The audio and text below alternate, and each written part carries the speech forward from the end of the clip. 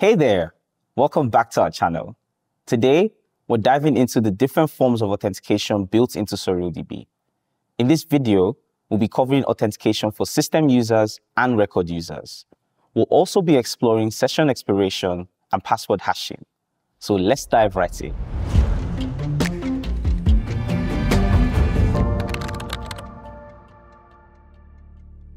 System users in SurrealDB are defined directly by the administrator in the schema using the define user statement. System users can be categorized into three access levels. One, root users, who have access to all the namespaces and databases.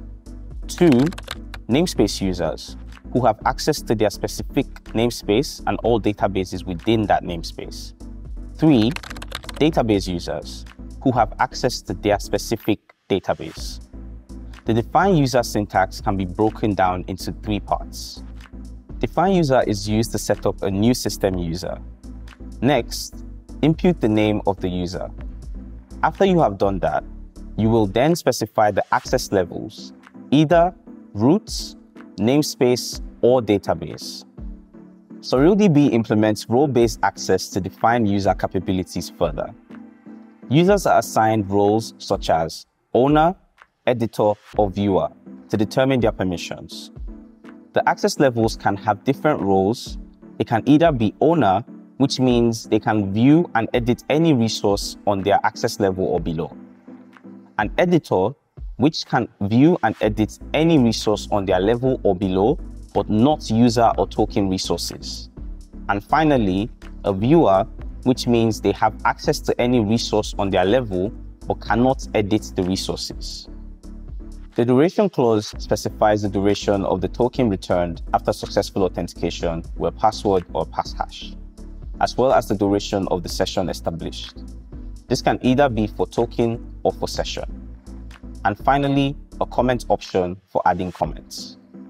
Let's look at an example of defining users. Now, from the example, you may have noticed that the password isn't very secure. If you require storing passwords for your users, do not rely on table or field permission to keep them private. In the event that the application or database is compromised, these passwords will become known to the attacker. Instead, SurrealDB provides you with password hashing functions like these. These functions ensure that the irreversible cryptographic hashes are stored instead of the original passwords, so that the passwords from your users remain safe even in the event of a compromise. Here is an example of a password hashing function using Argon 2. Record users are defined as records in a database, allowing you to customize authentication and authorization. Since these users exist as regular database records, they can have associated fields containing any information required for authentication and authorization.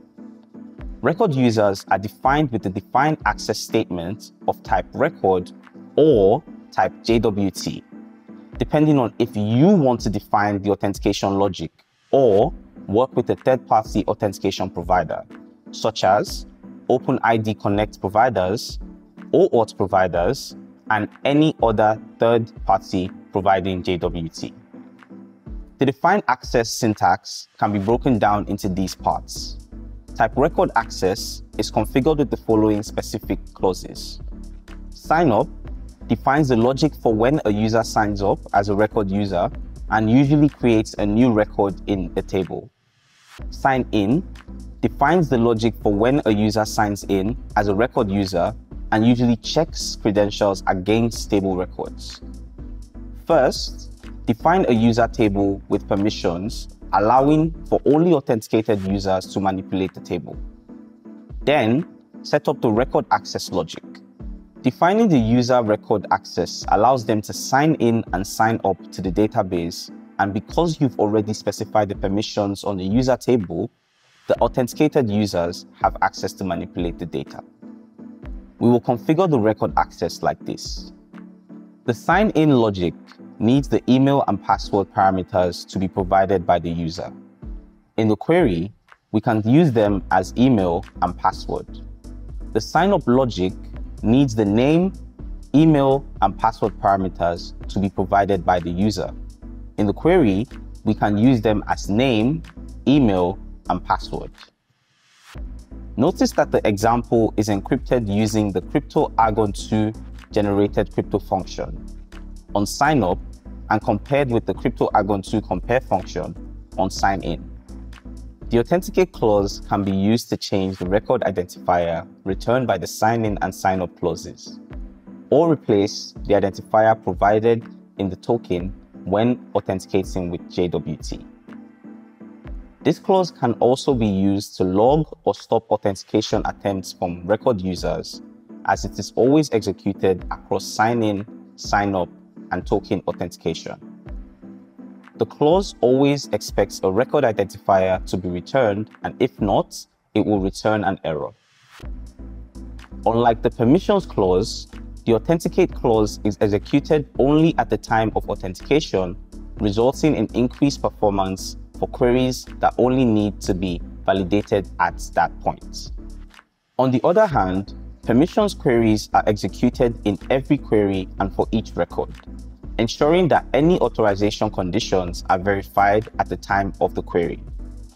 The authenticate clause is also a good fit for validating specific conditions that are not expected to change during the lifetime of the session, such as the presence of any required token claims. Here is an example of validating if a user is enabled. If this is not the case, we can throw an error stating why the user cannot authenticate, stopping the authentication attempt with a custom message. You can also choose to not return anything, which results in a generic authentication error.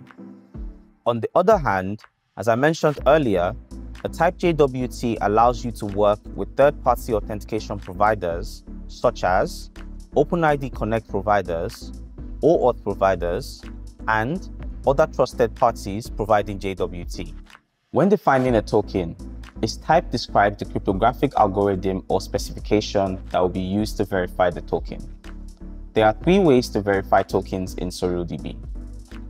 The first is hash-based message authentication code, or known as HMAC. With HMAC algorithms, the value of the defined token will be the secret used both to sign and verify the token. Signed by the issuer of the token and verified by SurrealDB. Anyone with access to these secrets will be able to issue tokens with arbitrary claims which will be trusted by SurrealDB. The next is with public key cryptography algorithms.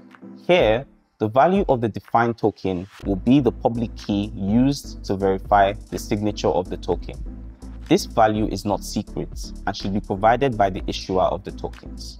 With JWKS, a set JSON Web Key objects will be dynamically fetched from a remote location and used to verify tokens following the RFC 7517 specification.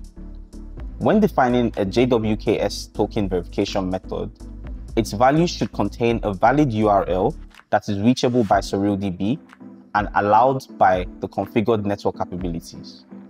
When using tokens, ensure that you include the necessary claims in the JWT payload for expiration, access method, namespace, and database, and also access SurrealQL queries with token claims using the token variable. Whenever authentication is performed with any kind of user, system, or record in SurrealDB, a session is established between the client and the SurrealDB server with which the connection was established. Authenticated sessions remain valid for a certain duration. This duration is none by default, meaning that the sessions will not expire unless otherwise specified. We recommend setting specific sessions and token durations using the duration clause for better security. When the duration is not explicitly specified, the session defaults to none, meaning that the session never expires. Tokens, on the other hand, expire after one hour. As a rule of thumb, shorter durations reduce the risk of compromised tokens. And that's it. You've learned about the different types of users in SurrealDB and how to authenticate them based on your requirements. If you found this video helpful, give it a thumbs up and subscribe for more. See you in the next one.